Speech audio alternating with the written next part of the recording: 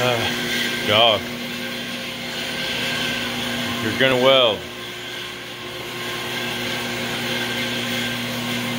Weld with this.